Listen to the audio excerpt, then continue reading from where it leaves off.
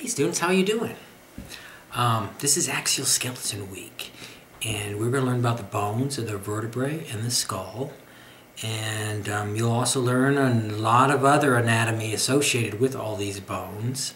Um, for example, the little holes, there's lots of them that you'll see and um, a lot of these are for blood vessels and nerves and things to pass through but uh, lots and lots of lots to do here.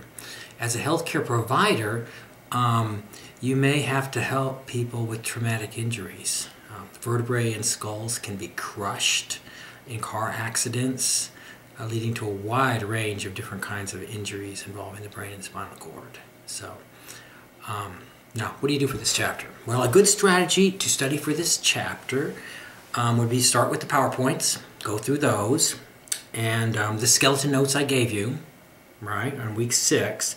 Next, find the videos I made for you. They include an overview of the anatomy of the bone, and then it includes practice.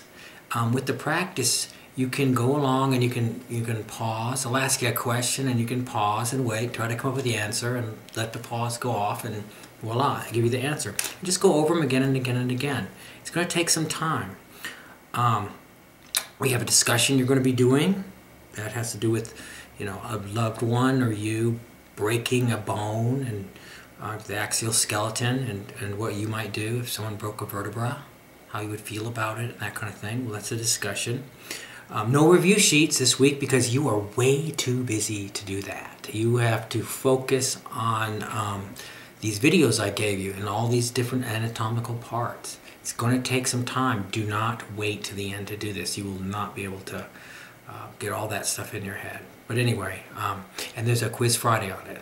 So not too many days to really get to it. Okay. Anyway, talk to you next time. Bye.